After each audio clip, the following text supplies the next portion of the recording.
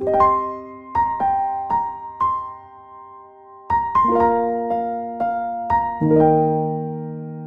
you.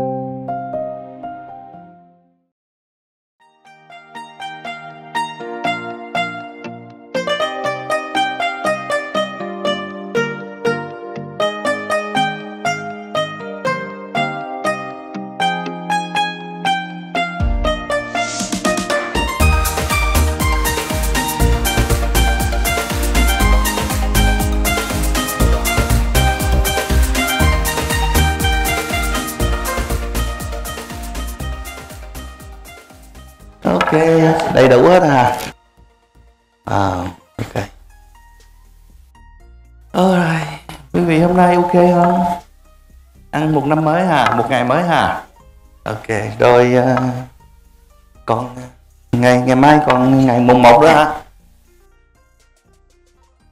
Ơi chào. Okay. năm mới chúc bình an bình an bình an bình an. Ok. Vào wow, đây là năm mới đó hả? Năm mới thầy cho mình quy tụ về đây hả? Ok thôi thì ờ, qua lời khuyên của sư phụ hôm nay ta cũng bắt được một chút xíu những cái tần số, mình gọi là từ trường không được tốt. Từ chỗ của quý vị. Thì sư phụ biết quý vị là ai, ở đâu. Nhưng qua lời khuyên của sư phụ, lời nhắn nhủ của ta cũng như lời nhắc nhở quý vị qua tình yêu thương của ta dành cho quý vị, mà quý vị xưng ta là thầy của quý vị. Thôi bổn phận của ta, nhắc quý vị năm mới cũng đã đến. Thì thôi quá khứ nó điều gì thì mình cho nó qua đi. Phải nhớ đừng ôm nó làm chi. Những quá khứ điều gì đó trong cuộc đời của mình. Hay là hồi năm rồi mình đã trực diện và đối mặt với tất cả mọi sự khó khăn khổ ải về cuộc sống này. Về cuộc đời của mình ra sao đó thì thôi mình cũng nên uh, lấy tình thương xóa đi hận thù. Lấy tất cả mọi sự khổ ải này cho làm một bài học trong cuộc đời làm người của chúng ta. Đó là một điều tốt nhất. Năm cũ là một quá khứ. Quá khứ này không tốt thì thôi mình cho nó qua. Nó là một xác chết. Thôi cho nó qua đi để cuộc đời của mình nó tốt hơn. Mình cho nó trôi qua để mình sẽ hướng tới một tương lai muôn màu, muôn sắc của mình, một tương lai đẹp không ai giàu ba họ không ai khổ muôn đời là vậy. Cho nên lần là tất cả mọi thứ đều là một bài học điều nhân điều quả điều thiện điều ác. Thì mình nên tha thứ và tha thứ à, thương yêu và thương yêu. Đấy. tất cả quá khứ điều gì thì cho nó qua. Đừng vì một chuyện nhỏ mà mình sẽ gì à, đối với mình thì à, minh sư nói chuyện nhỏ chuyện nhiên rồi. Đó là chuyện nhỏ. đối với quý vị chắc là một chuyện lớn, làm cho quý vị ôm ấp bao nhiêu trong cuộc sống âu sầu này. Làm kiếp con người không phải dễ, mang thân xác người càng khó hơn mà đã lớn lên, trưởng thành rồi. Đời bây giờ quý vị đã gặp pháp tu, một đời giải thoát nữa, càng khó hơn. Và đất nước của mình hiện giờ cũng thanh bình, tất cả mọi nơi cũng đã ổn định trong cuộc sống này rồi. Không còn nghe tiếng đạn, tiếng súng nữa càng hạnh phúc hơn. Không gì hạnh phúc hơn bằng là mình đã sống cuộc sống vô cùng an lạc, bình an, trong cuộc sống vô cùng tốt đẹp. Ra vậy, không gì hạnh phúc bằng chúng ta đã gì có cuộc sống thiền định và tu hành. Không gì hạnh phúc bằng khi chúng ta đã gì có được một nền tâm linh nương tựa, có một nền tảng tâm linh mà chúng ta nương tựa. Khi trang cuối cuộc đời chúng ta khép lại, chúng ta biết sẽ đi về đâu? Mình làm điều gì? Vân vân. Thậm chí mình ở đời ở cuộc sống bao nhiêu bạn bè, thân thuộc, vợ chồng, con cái, anh em, cha mẹ, có điều gì đi nữa? Nhưng quý vị, có bao nhiêu vật chất hay là không có vật chất, quý vị cũng vẫn cô đơn một mình. Người trung thành của quý vị duy nhất, người bên cạnh của quý vị là ta đây. Minh sư Ruma. Ok? Phải nhớ. Bao nhiêu chuyện buồn vui gì của quý vị. Những chuyện vui ở nhân gian này thì quý vị cũng sẽ có đó. Khi tất cả mọi nghiệp chướng nó đến rồi, thậm chí anh em bạn bè, cha mẹ gì đi nữa, người thân nào bên cạnh quý vị, họ cũng đều bất lực và thôi khi nghiệp chướng đến quý vị quý vị cũng một mình, một thân mà thôi. Người bên cạnh mình chính là minh sư, là ta đây. Lúc nào cũng ở bên cạnh quý vị. Chia bao nhiêu nỗi âu sầu và buồn bã của quý vị, và lúc nào cũng cần kề. Bên cạnh của quý vị, không xa quý vị một ly mà cũng không lìa quý vị một bước. Trong cuộc sống mà làm người của quý vị trên con đường khúc khỏe mà quý vị đang đi và đang trực diện nó. Thậm chí quý vị vui mừng vì vật chất hay là cuộc sống nào đó nữa ở đời của mình. Khi quý vị không nhớ Minh Sư đi nữa, mà khi quý vị buồn, Minh Sư dặn ở đó. Khi quý vị vui, Minh Sư cũng dặn ở đó. căn kề bên bên quý vị.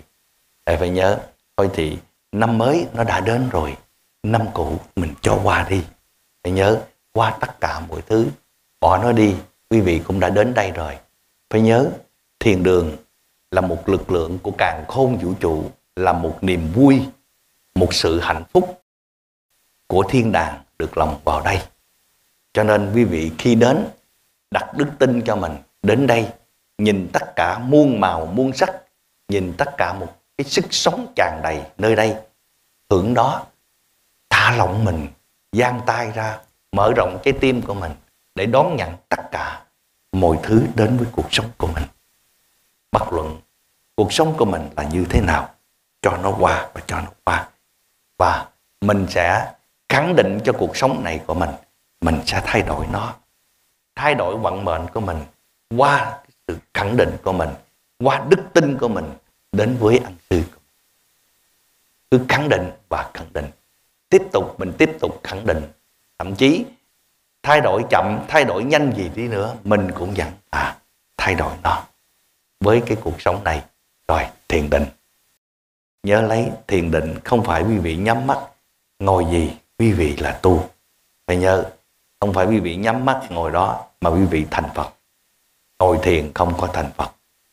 Phải nhớ rồi cho nên là cuộc sống này của chúng ta phải sống trong sự bình an và phúc lạc sống trong tình thương yêu và sống trong niềm vui của mình là một lực lượng của càng khôn lực lượng của thiên đàng. Đó là sự giải thoát của mình một đời đó. Chứ không phải là mình chết rồi mình mới giải thoát. À, chờ lâu quá ta chờ không nổi đâu. Rồi vậy nghe không? Năm mới cũng coi như là tối 30 rồi chúng ta sắp bước tới qua năm mới rồi đó giao thừa này quý vị sẽ nhận được nhiều sự phúc lạc, nhiều niềm vui hơn trong cuộc đời quý vị.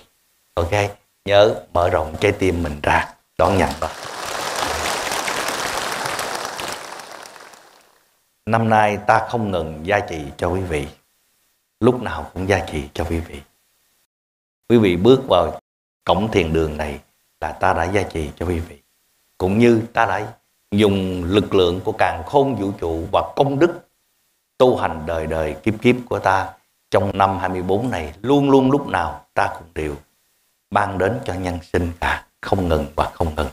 Đặc biệt là quý vị có lòng thành, buông bỏ tất cả mọi thứ về phong tục tập quán với cuộc sống của mình trong một ngày lễ hội thiêng liêng của sắc tộc này đây, dân tộc này mà quý vị đến với sư phụ, ta chi ăn công đức này qua ta không ngừng gia trì cho quý vị. Qua hương sắc của hoa qua hương sắc nghệ thuật của đời và dòng âm lưu thượng đế mà ta ngăn nga. Gửi đến quý vị để xua đuổi và đẩy lùi tất cả những sự khổ ái và những bóng tối bao quanh cuộc đời của quý vị. Ta cô làm hết sức lòng mình vén cái bức màn vô minh này, vén cái bức màn phủ định và nghiệp chướng này để cho quý vị thấy được muôn màu, muôn sắc của thế gian này là một cảnh đẹp. Và cuộc đời tương lai là một ánh sáng của càng khôn. Thôi thì quý vị phải mở trái tim mình ra để đón nhận, nghe không? Để thưởng thức những ăn điển mà sư phụ ban đến cho quý vị nhớ lấy đừng phụ lòng ta nghe không? Đừng ngồi đó mà đừng ngồi đó mà buồn nghe không? Ok phải nhớ tất cả mọi thứ nó đã đưa đến cho quý vị ở đây. Quý vị biết là từng cây hoa à, từng cọng cỏ từng tất cả mọi thứ đều là một sức lực từ bi của minh sư đều là một lực lượng tươi sáng khi quý vị nhìn nó. Nó luôn lúc nào cũng nở nụ cười cả. Thiệt ta không nói, giỡn quý vị đâu. Quý vị nhìn vô cây hoa thôi. Nhìn bình thản, quý vị nhìn vô cây hoa. Nói nhiều là nhắm mắt, mở mắt và nở nụ cười. Quý vị chúc phúc cho quý vị với lời bình an. Ok. Ok, rồi vậy nghe không? Ok, trong đêm 30 đây, sư phụ tiếp tục trả lời những câu hỏi không đau của thế giới gỡ về hy vọng lần lại gì? Ngày mùng 1 Tết đừng đừng hỏi lung tung nghe không? Ngày 30 ta còn gom góp tất cả những sự phiền hà của nhân sinh đây. Ok.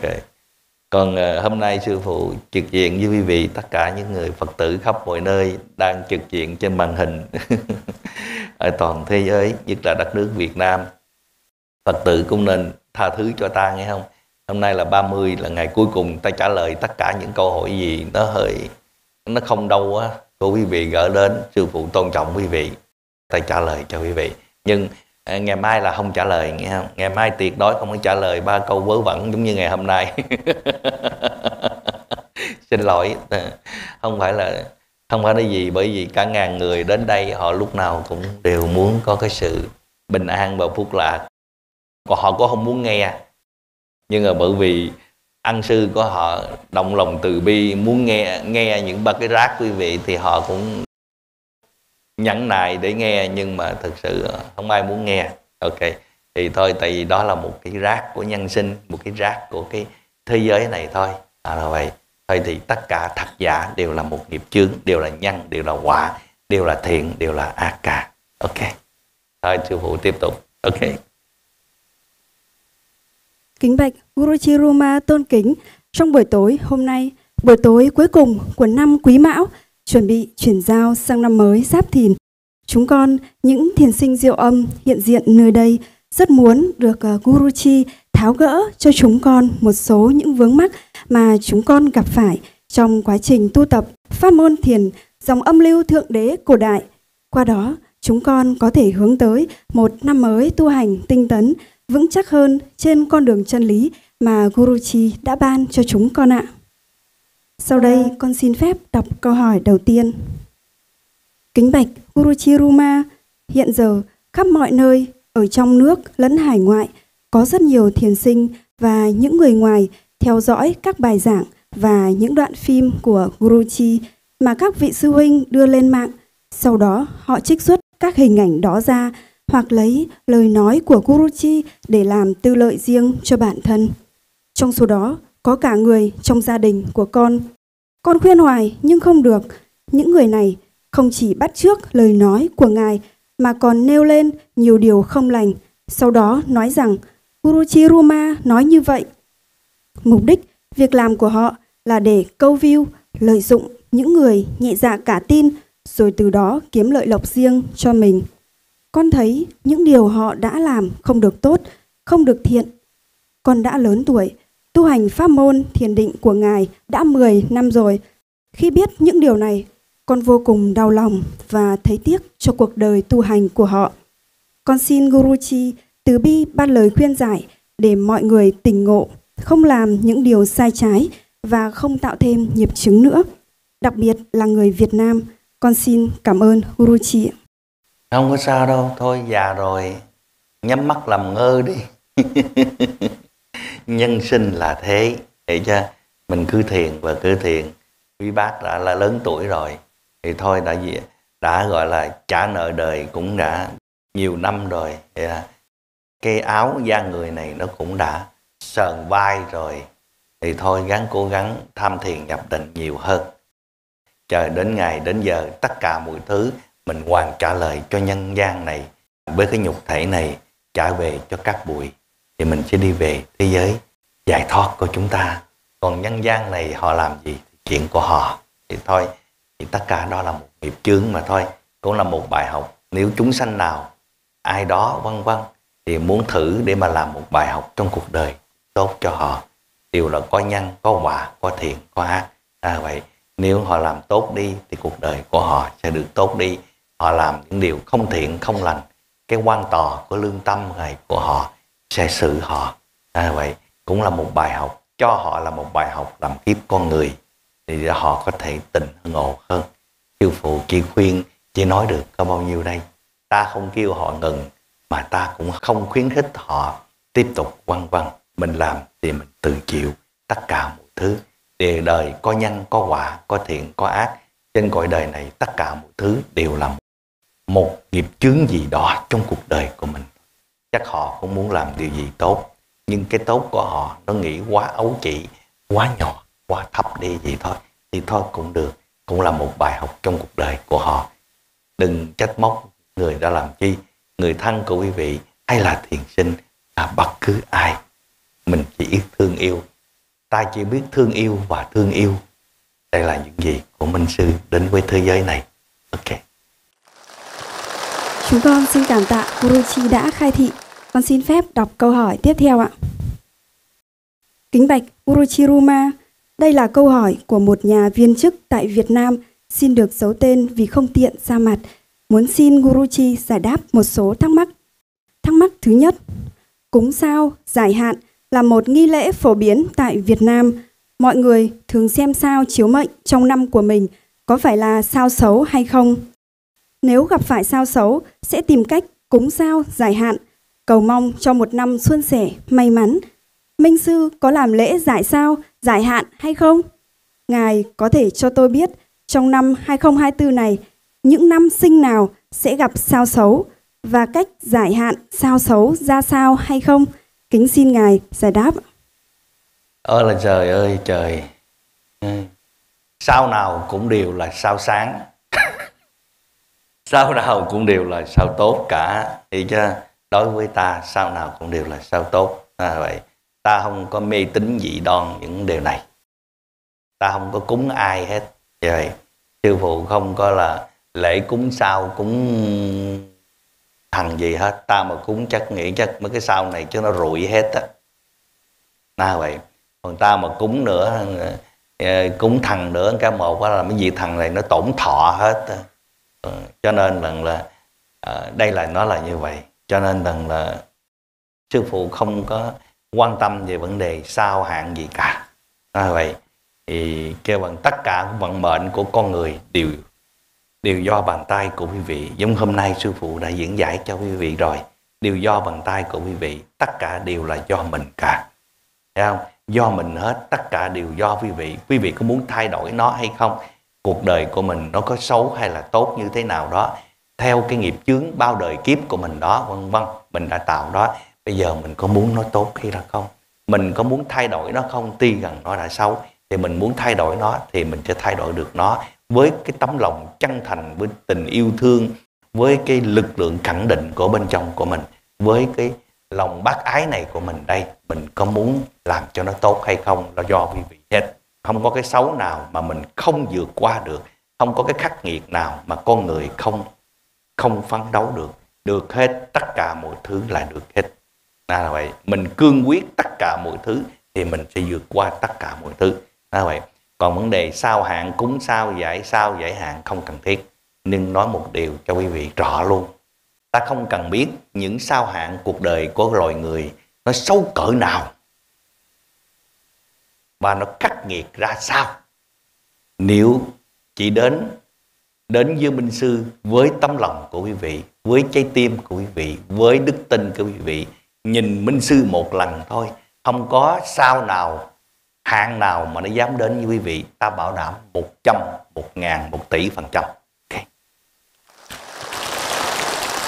khỏi cần quý vị sẽ đến tu cho nên rằng là bây giờ quý vị có bị sao nào nó chổi quý vị.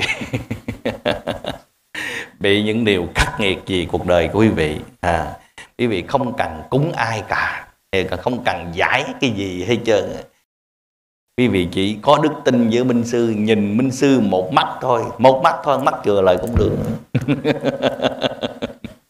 Một mắt thôi mắt chừa lời. Quý vị sẽ gì? Quý vị sẽ được tất cả mọi thứ. Lực lượng của minh sư là một lực lượng từ bi, một ánh sáng của càng khôn vũ trụ của đại dương bao la. Không có dơ bẩn gì mà có thể mà nhúng xuống biển cả mà không sạch được hết. Không có bùn dơ nào trên người quý vị mà ta nhúng quý vị vô cái biển cả mà mà nó không sạch được. Hiểu chưa đều sạch sẽ cho quý vị cả. Cho nên ta không cần phải giải ai hết không cần biết muôn đời quý vị tạo ra một nghiệp chướng gì khi quý vị biết sám hối biết hướng về thiện lành biết hướng về trái tim của mình con người chân thật quý vị tất cả đều sẽ được quá giải cho quý vị okay. Chúng con xin cảm tạ Guruji đã khai thị. Con xin phép đọc thắc mắc tiếp theo của vị này ạ.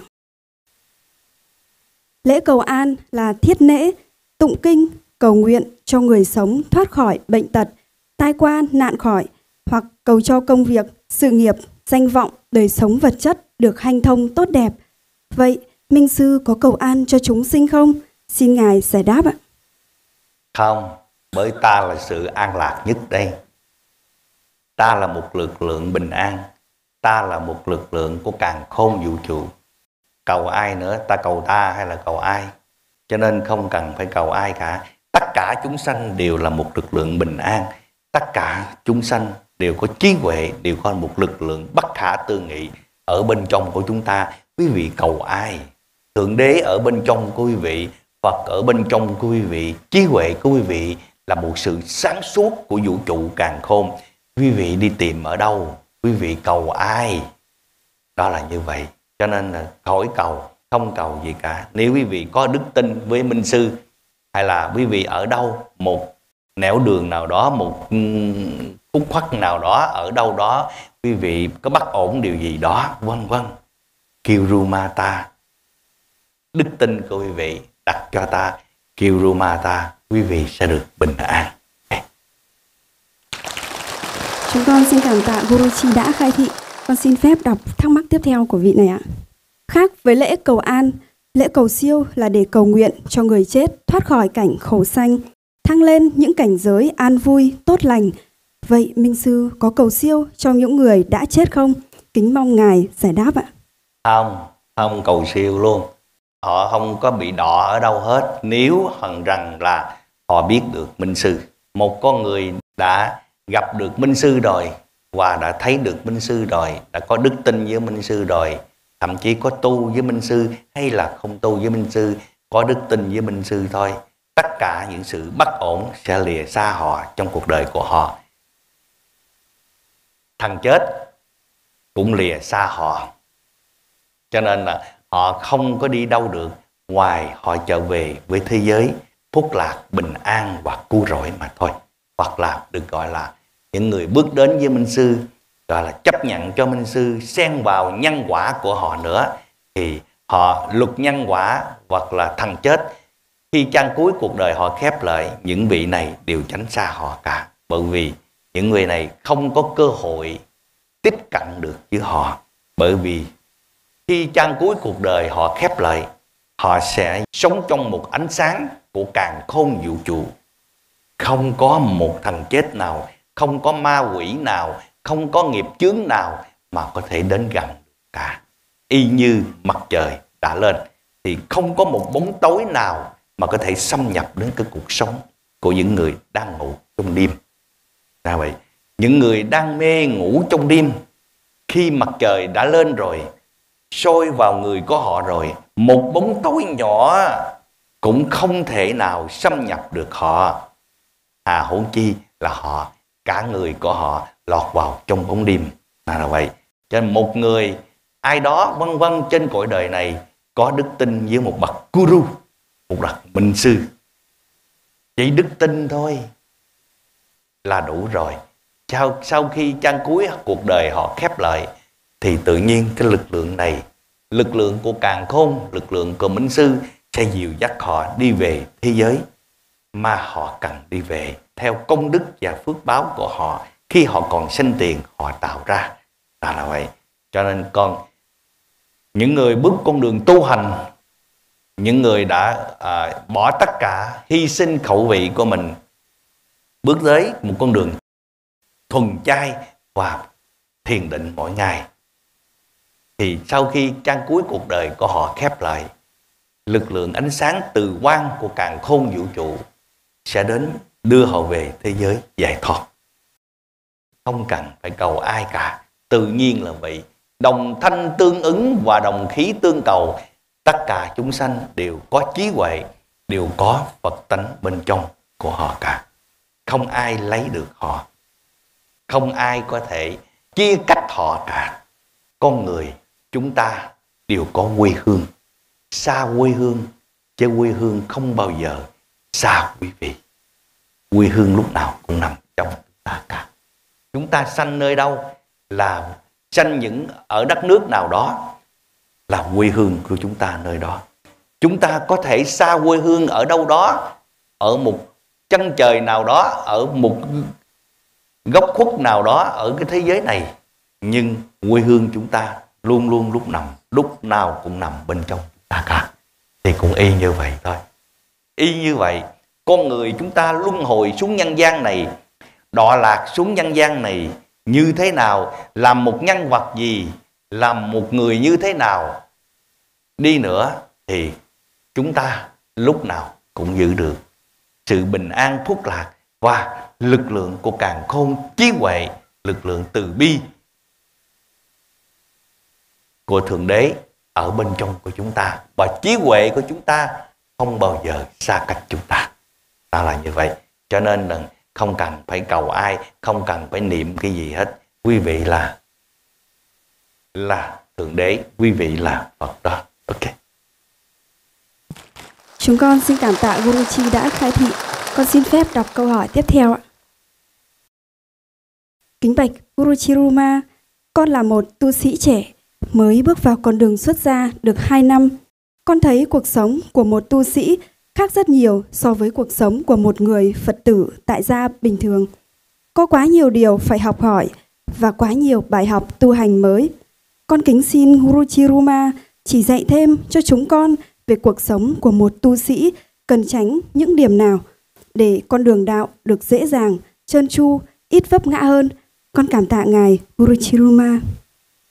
Lòng dục vọng Thứ nhất là nên tránh ngã chấp ngã mạng của mình, tự cao tự mạng của mình.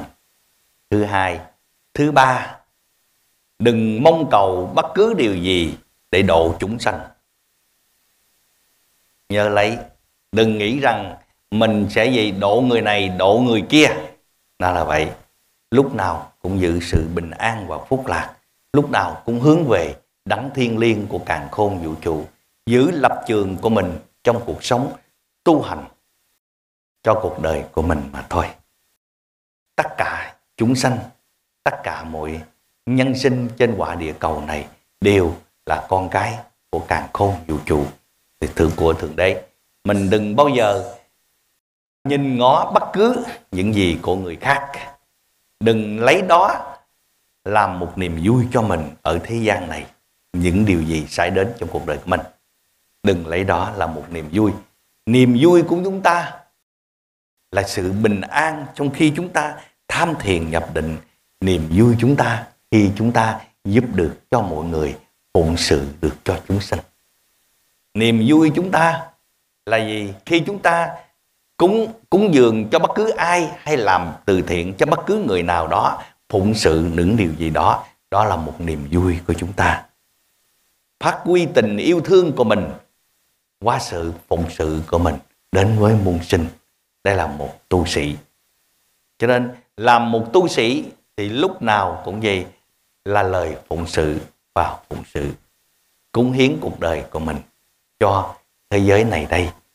Đây là những gì mà một tu sĩ căn bản để chúng ta tu hành, tránh đi những cái lòng dục vọng của mình, tránh đi những lòng tham lam ở thế giới này thế giới này là một quán trò cho chúng ta, dừng chân mà thôi đây là những gì mà chân cung đường ta đi khi ta đã 18 tuổi. Quậy một chiếc ba lô là một tu sĩ trẻ đi khắp mọi nơi. Ta chỉ giữ lập trường của ta bao nhiêu đó mà ta không bị dấp ngã. Đây là một lời sống mà khi ta 18 tuổi ta đi khắp mọi nơi trên trái đất này đây mà ta vẫn giữ được cuộc đời tu hành của mình. Ta không bao giờ dấp ngã. Bất cứ những điều gì vớ vẩn ở thế gian này, đôi khi cũng khó, chứ không phải dễ. Nhưng ta giữ lập trường cho mình thì ta sẽ vượt qua được tất cả mọi thứ. Cho nên rằng, mình là một tu sĩ cũng giống y, không khác gì cả. Phải nhớ, lòng khiêm nhường là một trí huệ cao thâm nhất. Tình yêu thương của mình là một ánh sáng của càng khôn vũ trụ. Đây là những gì mà chúng ta cần đi và cần lên cân nhắc cho mình.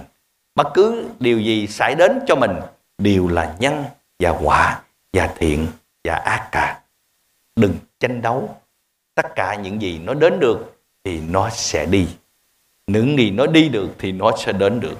Là một bài học trong cuộc đời của chúng ta. Ghen luyện mình để cho mình lớn khôn lên trong cuộc đời hành trình trong một kiếp con người tu hành là một tu sĩ vân vân đây là những gì mà sư phụ khuyên dạy okay. chúng con xin cảm tạ Guruji đã khai thị kính bạch Guruji Ruma con xin vô vàn cảm ơn Minh Sư vì đã cứu mẹ con. Mẹ con đã 55 tuổi rồi. Vừa rồi, sứ giả diệu âm có báo cho mẹ con là đã có thể tâm ấn mới mà Minh Sư ban cho bà. Sau đó, bà đi đến chỗ sứ giả siêu âm để lấy thẻ tâm ấn mới. Sau khi nhận được thẻ tâm ấn mới, mẹ con để vào trong túi sách và đi về nhà. Lúc đó, trời cũng đã chập choạng tối. Tự nhiên, có một chiếc xe tải chạy cùng chiều từ phía sau lao tới, bị mất tay lái, quẹt vào chiếc xe của mẹ con và hai chiếc xe tay ga đi phía trước. Vụ va chạm khiến cho ba chiếc xe đều bị ngã, còn chiếc xe tải kia thì phóng bỏ đi mất. May mắn là vụ va chạm không gây thiệt hại về tính mạng. Mẹ con do lớn tuổi, tay lái cũng không được vững nên sự việc bất ngờ này khiến mẹ con một phen hốt hoảng. Sau khi chấn tĩnh lại tinh thần, bà mới phát hiện chiếc túi đã bị văng đi đâu mất. Bà dựng xe dậy và đi lòng vòng xung quanh để tìm lại chiếc túi trong khi trời đã tối mịt. Trong chiếc túi sách toàn là giấy tờ cá nhân quan trọng, bằng lái xe, tiền và thẻ tâm ấn mới được Kurochi ban cho. Sau một hồi lần mò trong đêm tối, bà cũng tìm lại được chiếc túi sách, nhưng nó đã bị rách do lúc va chạm với chiếc xe tải. Mở túi sách ra kiểm tra, bà mới ngỡ ngàng vì tiền bạc trong túi đã không cánh mà bay, chỉ còn lại mỗi thẻ tâm ấn và chiếc bằng lái xe bị hư. Thẻ tâm ấn mẹ con kẹp chung với bằng lái xe, nhưng bằng lái xe bị hư, còn thẻ tâm ấn thì lại không bị gì, vẫn còn nguyên vẹn. Con biết Guruji đã ra tay cứu giúp mẹ con, nhờ có thẻ tâm ấn mới của ngài mà mẹ con đã thoát nguy hiểm trong gang tấc. Con thật không biết dùng từ ngữ nào để diễn tả hết lòng biết ơn của con và gia đình đối với ngài. Thẻ tâm ấn mới mà Guruji ban cho chúng con là một bảo vật vô giá và thiêng liêng. Thiền sinh chúng con thật may mắn khi đời này được Guruji cứu độ và gia hộ. Con tin rằng tất cả thiền sinh siêu âm chúng con khi có đủ sự thành tâm và biết quý trọng thẻ tâm ấn mới mà Ngài ban cho thì sẽ nhận được sự vi diệu, nhiệm màu đến từ chiếc bùa hộ mạng này. Cuối thư, con xin cảm tạ Guruji tôn kính thật nhiều, thật nhiều. Năm mới Giáp Thìn sắp đến, con kính chúc Ngài nhiều sức khỏe, an khang, chúng sinh vị độ. Rồi rồi, hồi nữa nó, nó cho cái này giống như một tấm bùa. ok. Lòng thành của quý vị, ok. Quý vị có đức tin tất cả mọi thứ, có những thiên thần và hộ pháp hộ bảo hộ cho mình, ok. Nhưng thẻ tâm ấn rất quan trọng nghe không? Ok. Chúng con xin cảm tạ Guruji. Con xin phép đọc câu hỏi tiếp theo ạ. Kính bạch Guruji Ruma. Vì sao người Trung Đông đẹp đẽ, thông minh và giỏi, nhà cửa hiện đại, tráng lệ, chạm trổ hoa văn tinh xảo, đạo đức, tâm linh cao, nhưng họ lại hay gây ra chiến tranh, sân hận, tranh chấp giữa các tôn giáo đến mức người ta gọi vùng Trung Đông là trào lửa. Vậy có phải họ là những Atula xanh xuống trái đất không? Hay vì nghiệp chứng gì? Kính xin Guruji khai thị. Chỗ nào cũng đều là có chiến tranh nảy lửa hết. Lòng con người chỗ nào là cũng có chứ. Chứ đừng nghĩ là ở Trung Đông. Ok. Chỗ nào cũng đều có. Có cái xấu rồi thì đều cái tốt nó đi, đi thi theo. Có cái tốt rồi thì cái xấu nó đều đi theo. Như chúng ta cuộc đời có hai mặt và trắng và đen vậy thôi. Hiểu chưa? Mặt trắng có bên đây thì mặt đen lúc nào cũng cần kề. Bóng tối này thì có ánh sáng sẽ xuất hiện vậy thôi. Đó là quân bình của thế giới con người của chúng ta. Cho nên quý vị cũng đừng có đừng có gì, đừng có nghĩ rằng là những người ở đó hay là họ gọi là một cái đạo không hay và không tốt nó không phải như vậy. Thì chứ?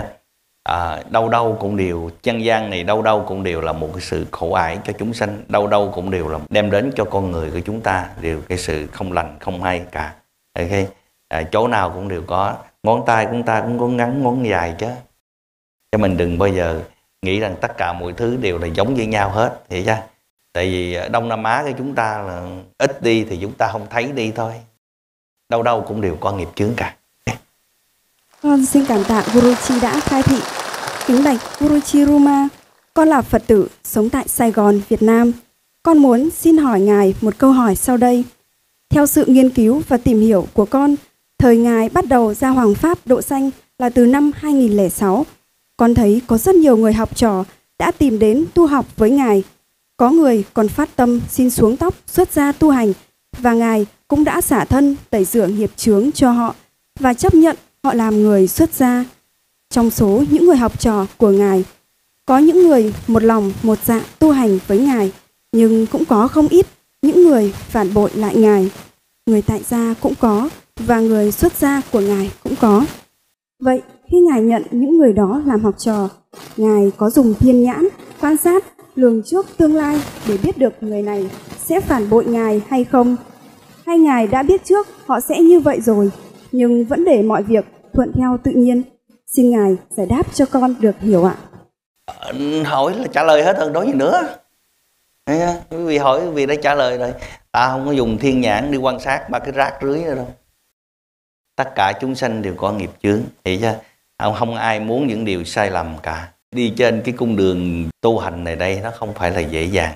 Thì thôi quý vị đừng nhìn vào những góc cạnh khó khăn và khổ ải và nghiệt ngã của mọi người. Mọi người đều có cái nghiệp chướng của họ riêng và họ cố gắng lâm lâm lâm lâm rồi để họ bước tới con đường tu hành nó tốt hơn. Nhưng bởi vì đi trên cái con đường khổ ải này đều bị Atula và Ma Dương nên đều phá phách họ và không cho họ đi một con đường chân chu đây cũng là một nghiệp chướng của họ. Đó là vậy, họ là một tội nhân đó. cũng là mình gọi là họ một nạn nhân ở cái thế giới này và trong cuộc đời của họ, mình nên yêu thương họ, chứ đừng nghĩ rằng họ là một điều sai lầm. Họ đã làm một người như vậy cũng tốt cho mình lắm đó. Nghe quý vị đã thấy họ được như vậy thì mình nên mừng cho mình. Mừng cho mình mình không bị vướng vào đó. Mừng cho mình mình không phải là một người học trò như vậy. Mừng cho mình là mình không bị cái nghiệp chướng này nó xô đẩy mình xuống cái hố sâu vực thẳm là một con người bất hiếu bất nghĩa và bất chung này đây. Cho nên là mình phải nên mừng cho bản thân của mình. Và nên thương yêu họ nhiều hơn bởi vì họ phải đối mặt và gánh giác đi những cái nghiệp chướng mà họ phải làm. Đây là những gì mà mình đã nhìn hiểu chưa? Chứ đừng trách móc họ làm gì à, trên thế gian này nó là thế nghiệp chướng này nó là vậy mình cũng không trách họ làm gì. Đó là vậy mình phải thương yêu và thương yêu tất cả chúng sanh ai ai cũng vậy hết. Ok? Trên thế giới đầy gian nan khổ ải trên thế giới này là một một biển đau thương của con người ok? Là một bài học cho loài người chúng ta luân hồi xuống đây để trải nghiệm và rèn luyện cho cuộc sống này đây ok? Kính thưa Guru Chiruma tôn kính, vừa rồi là toàn bộ câu hỏi mà chúng con kính trình lên Guruji trong buổi tối ngày hôm nay ạ. Một lần nữa chúng con xin cảm tạ Guruji đã ban cho chúng con những lời chân lý cao thượng trước thềm năm mới Giáp Thìn ạ. Ok, thôi gì những câu hỏi câu hỏi quý vị sư phụ đã trả lời đến đây. Còn những câu hỏi nào của quý vị Phật tử khắp mọi nơi thì uh, sư phụ chưa trả lời thì sư phụ sẽ cố gắng trả lời trong những ngày kế tiếp cho quý vị. Thôi, một lần nữa, chúc quý vị bình an bình an. Ok? And happy new year. Okay.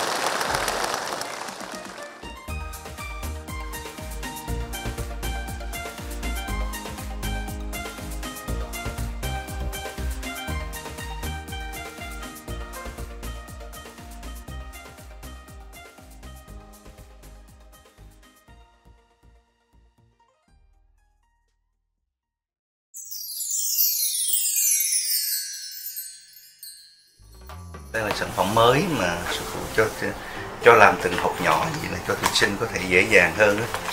một gói gì là một cái ly nhỏ, mình bỏ nước nóng vô rồi mình đi đâu mình cũng có thể dùng được